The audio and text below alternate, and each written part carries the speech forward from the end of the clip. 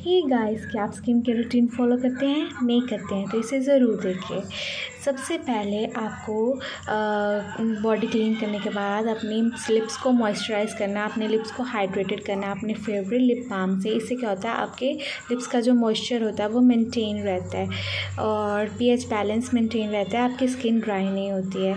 और इन सब चीज़ों को करने के बाद आप सबको क्या करना चाहिए, अपने फेस को हाइड्रेटेड रखने के लिए आपकी फेवरेबल स्किन के अकॉर्डिंग अकॉर्डिंग आपको सीरम चूज़ करना है। अगर आपकी स्किन ड्राई है रफ़ है तो आपको विटामिन सी आपको यूज़ करना है।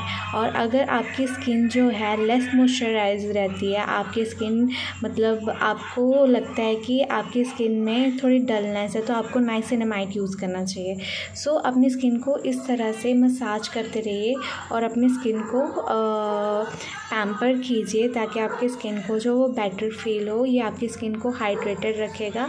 जो आपका सीरम है, वो आपकी स्किन के अंदर तक जाके आपकी स्किन की लेयर्स को प्रोटेक्ट करता है और आपको जल्दी से एक नेचुरल ग्लो प्रोवाइड करता है। कुछ वीक्स में आपको रिज़ल्ट देखने में मिल जाएगा। एक नेचुरल ग्लो आपके चेहरे पर मेंटेन रहेगा।